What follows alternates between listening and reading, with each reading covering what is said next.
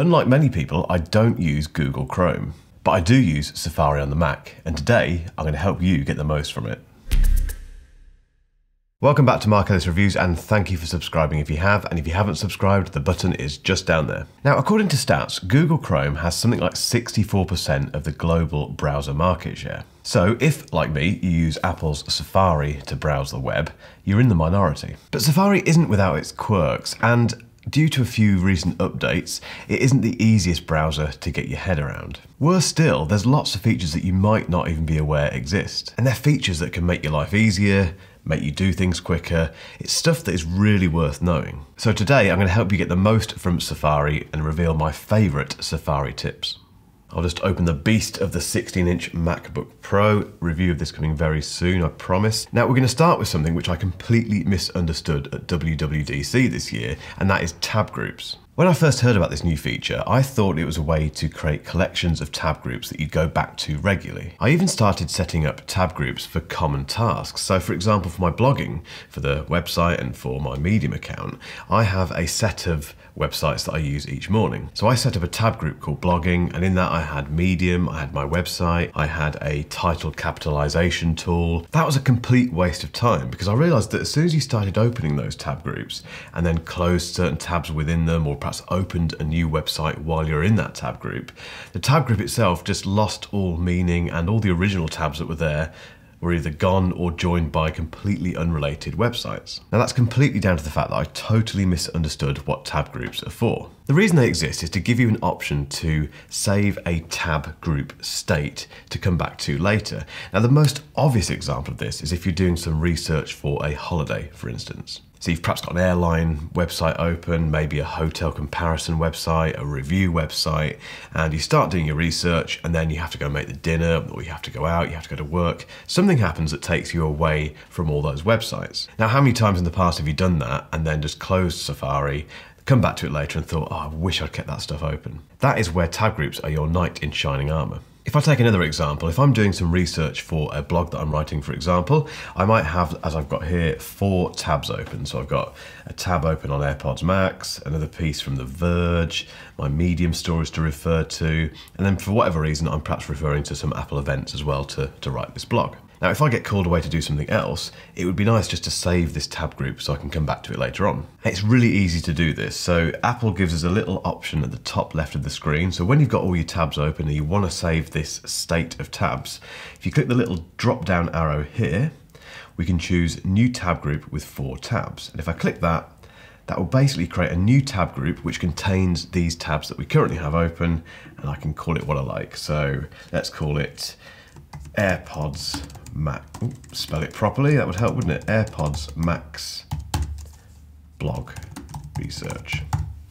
Done. Simple as that. So, for instance, if I come back later on and for whatever reason I've reopened Safari, I've gone to a different Mac, for example, and I have a blank page here, but I want to go back to that AirPods Max research that I was doing, I can simply click at the top, choose my AirPods Max blog research tab group, and bang. All of those tabs I had open previously are back. And something I wasn't aware about until recently is the fact that you can create a brand new tab group from a folder of bookmarks. So for instance, if I want to open all of the websites in the Mark Ellis Reviews folder as tabs, I can right click on that folder, go to open in tab group, click new tab group and there we go. That's a lot of websites, but it's opened all of those websites. It's given me the option to create a brand new tab group. It's taken the name from the folder of the bookmarks, but I can change it if I need to. And there you go, a very quick way to create a brand new tab group from any of your bookmark folders. And the best thing about tab groups is that they are synced across all of your Apple devices. So that same AirPods Max blog research tab group is available on my iPhone, on my iPad, on my Mac mini. Basically, I can go back to those tab groups on any device. It's absolutely brilliant. Sticking with the tabs theme, there's another really useful tool Apple has built into Safari, which enables you to pin your most used websites. Now, I don't do this with loads of websites, I only use it for one or two that I use quite regularly. One of them being, for instance, Notion. And I use Notion to manage this brand and to manage all of my blogs and my videos and stuff. So it's nice to have it there all the time and very instantly accessible. And the way you pin tabs is really straightforward. So once you've got your website open that you want to pin, you can basically right click on the address bar, click on Pin tab, and it plunks it just over here. And you can pin as many tabs to this as you want to as well. So for instance, if I want to add my website to that, I can right click on that as well, click on pin tab, and there we go. Adds it to the pinned tabs on the left hand side. And switching between them, as you would expect, you just click the little icon, the little favicon, and that will take you to that website in question. Really straightforward. The only thing I'd say about pin tabs is that I don't really know what Apple does in the background. So if you, let's say you've pinned 15 tabs, for instance, which would be a lot, but let's just say you have. If one or two of those are quite resource intensive, I don't know if Apple stops them loading in the background or if it continues to load those websites in the background. If it does the latter, that could potentially have a bit of an impact on your battery life and potentially the performance of your Mac. So I would be careful with how many pinned tabs you have. So we've already established that having multiple tabs open is very useful for productivity and it's a very common way that people use browsers. But switching between tabs can be a bit of a pain sometimes. And if you need to refer to two websites, it's nice to have them side by side. Now you can actually do that quite easily. So for instance, if I've got two websites open here, Medium and the BBC's website, and I want to keep them both on the screen at the same time without clicking between tabs, what you can do is drag either one of these websites out of the tab bar, that basically opens that website in a completely new Safari window. And the benefit of that is that we have the other website as a window behind it, which means we can put them both into split screen. And doing this is really straightforward. You basically long press on the little green button at the top left of the screen, choose tile window to left or right. Once you've done that, we can then choose the other Safari window and bang, we've got both websites side by side. It's so much easier than flicking between tabs. Again, I use this all of the time. Have you heard of Reader View in Safari? This is something that has been gradually hidden more and more by Apple. I don't know why, because it's such a useful feature and it's been around for ages. I can't remember when they introduced it, but it was quite a while ago. And the whole point of the Reader feature is to basically strip away all of the crap that you get on some websites, all the adverts and all the stuff, all the content that has nothing to do with what you want to read, and just give you the text and the images related to that blog or article. So, for instance, if I'm reading this Samsung Galaxy Book Pro review, I might just want to strip back all of the stuff that is distracting me and just read the text and see the images.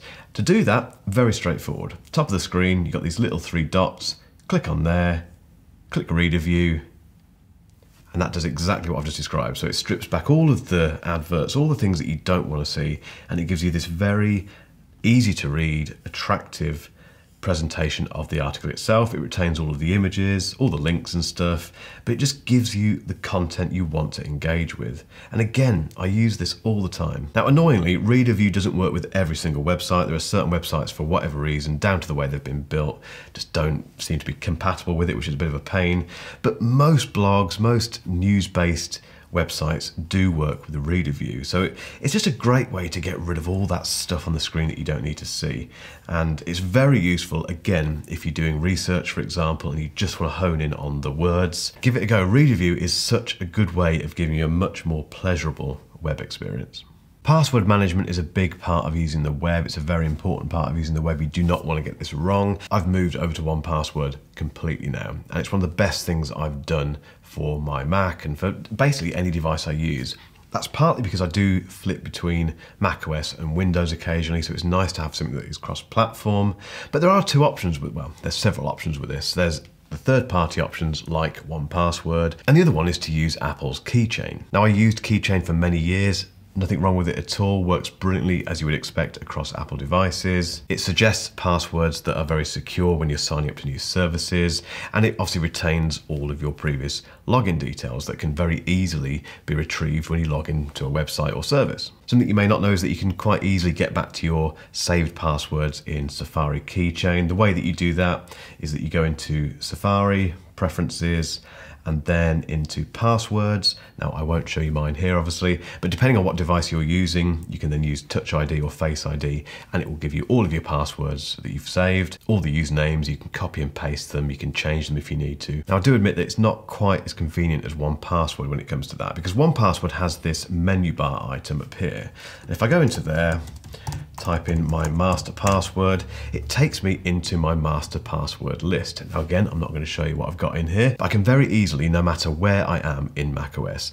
retrieve any password, any login details, and in fact anything I have stored in 1Password because 1Password does go beyond password management. You can put pretty much anything you like in there. So 1Password is a bit easier to use when it comes to retrieving passwords compared to Keychain, but obviously it comes at a cost, and if you'd rather keep costs to a minimum and you've spent a lot of money on a new MacBook, for example, then Keychain is just fantastic. If you're not using Keychain, turn it on now.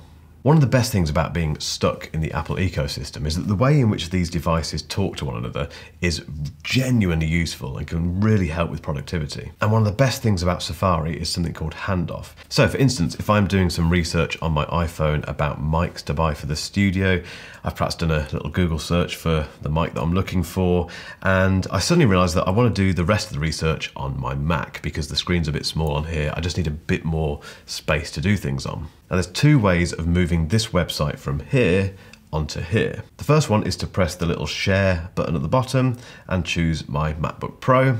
And in doing that, magically, any second now, it appears on my MacBook, like that. Sometimes it takes a bit longer than usual, I'm not sure why. The other way of doing it, have the website open on your iPhone and then look out on your Mac for a little icon that pops up here, which says Safari from iPhone. Click on that and the exact same thing. It takes me to that exact same web page that was open on my iPhone. It's a little thing, but it's something I use very regularly and it's just a great way that all this stuff interacts. Now, I hope that you found at least one of those tips and tricks for Safari useful, but I'm curious, have you got your own? Is there something that I haven't mentioned today that you do with Safari that you think would benefit other people? If so, let us know in the comments. Now, if you've still got some time and you'd like to see how I make the most of Apple Notes, keep watching for a link to that video at the end of this one. But in the meantime, thank you so much for watching and I'll catch you next time.